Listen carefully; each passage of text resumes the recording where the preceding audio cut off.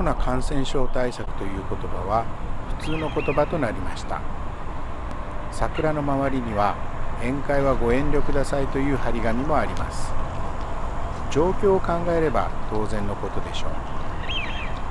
桜という花は日本人の DNA に刻み込まれていると私は思っています。少なくとも私の DNA には刻み込まれています海外でも春になると無意識に桜の花を求めていたように思います。